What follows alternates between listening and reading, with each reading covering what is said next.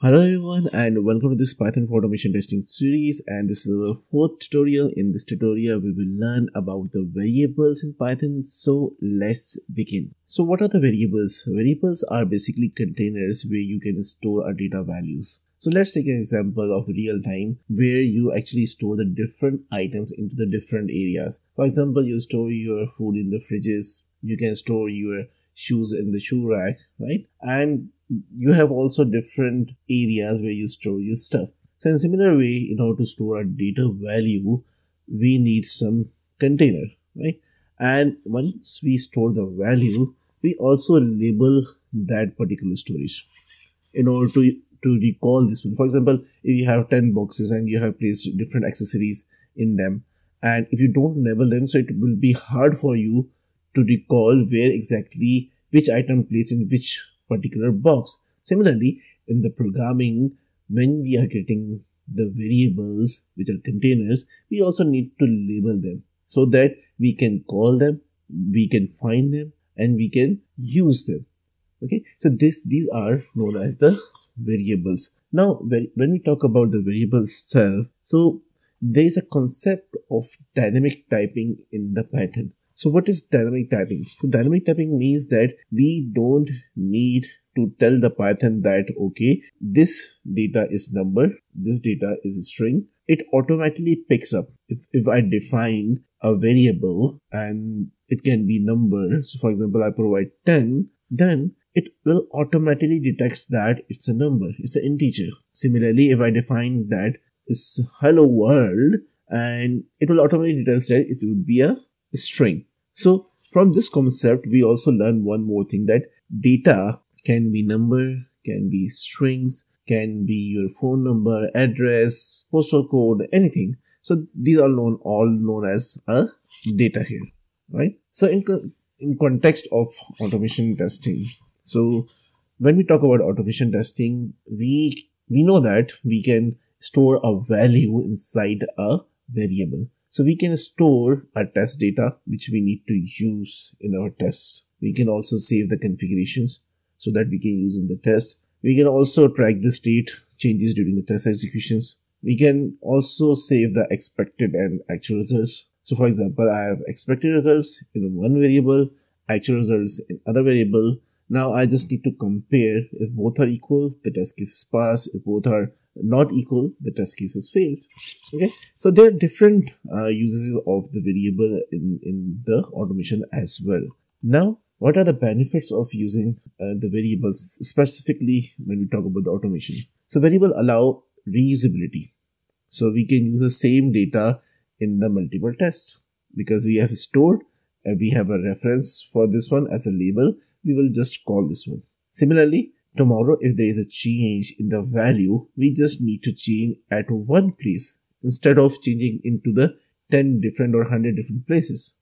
Furthermore, if we use a well-defined variable names, it would be easier for us to read and understand what these variable contains. So for example, I have some mobile accessories and if I just label it as accessories, so I'm not sure either what kind of accessories this box will contain. But if I label it as mobile accessories, then it's more readable and understandable. So the variables needs to be readable, reusable, and maintainable. So these three points are actually referring referring to these three points here.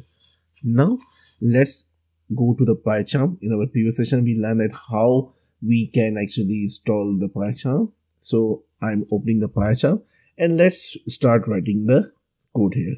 So now we are in the PyCharm here and let me create a project. Because we haven't created a project as of now. So simply go to these lines here. Click on new project here. Here we need to provide a name of the project. So I will say Python for automation testing and from here uh, you can change the location where it needs to be created. Do we really need to create a git repository right now? You can create it later as well. Do we need a welcome script?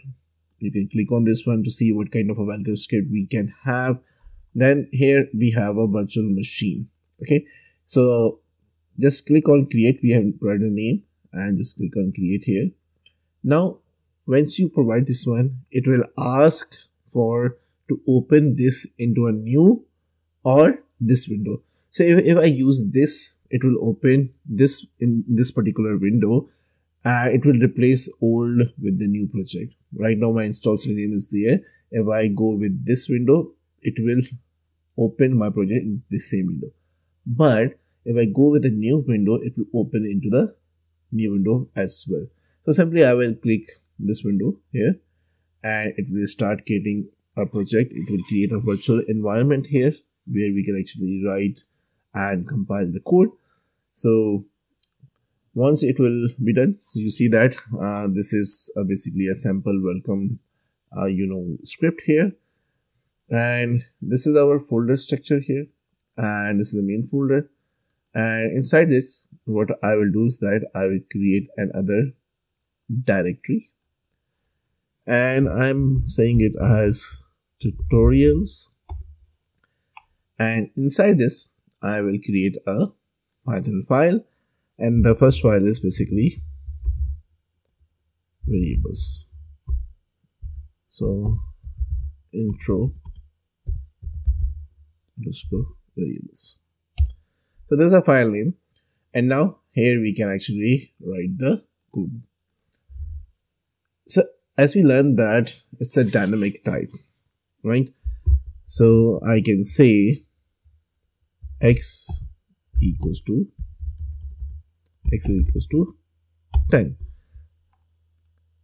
so you see that we didn't get any kind of uh, error here. But it says invalid python interpreter selected for this project. So configure and this one. And now the error is being removed. So in case if you face this error you can simply use this way. Now, if I say uh, z is equals to, and let me name it as string, so testing. So again, this is a string, this is a number, and you see that we are not defining anything here. This this is why they are dynamically typed, and let's run this one. But before running this one from here we can open the terminal.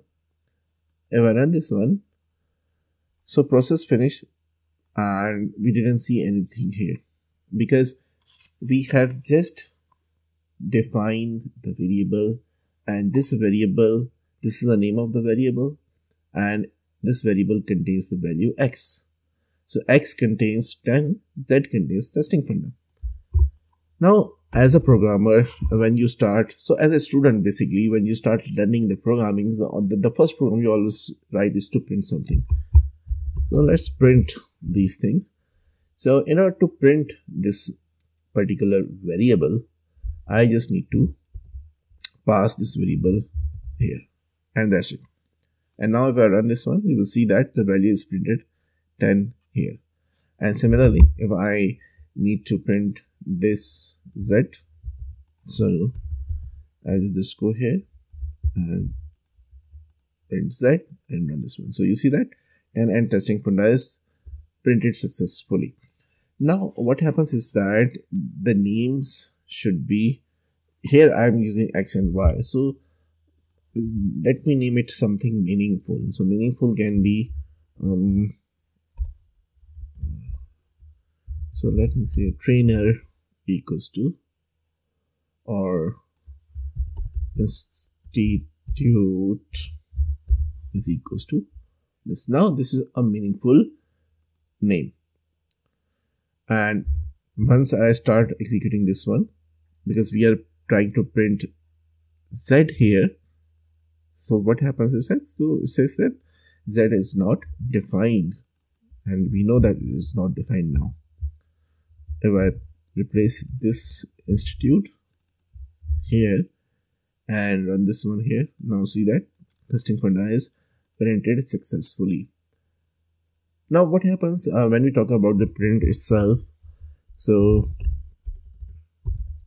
you can directly print the value here and here how you can print a value. So if you hover over there so you will see that in order to provide a string str means string we need a double quote. In some cases single quote is also working. So i will say testing funda and this is one. Okay now let's run this one. And you see that it got printed. Now if i go here and if i do a single quote and run this one so still it will print. If i say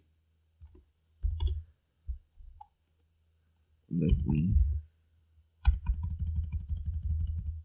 this one and say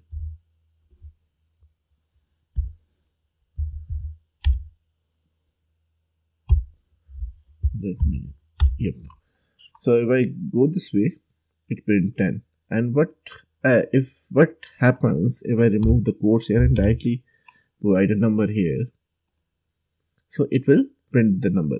So numbers are basically not provided by the course. if you provide by by using the quotes here it will consider it as a string not a number. So this is uh, a very basics about the variables in our upcoming tutorials we will learn more about the variables different types of variables then we will start building up our skills step by step Thank you so much for watching this tutorial. If you like our content, then do like, comment, share and subscribe our channel. Once again, thank you so much and see you in the next tutorial.